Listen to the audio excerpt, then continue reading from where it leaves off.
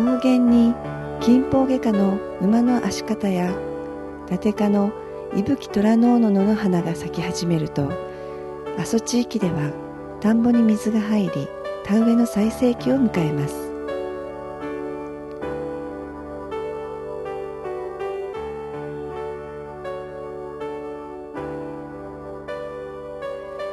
水の張った田んぼに映る阿蘇の五角は風の穏やかな五月晴れの朝に見られる風物です。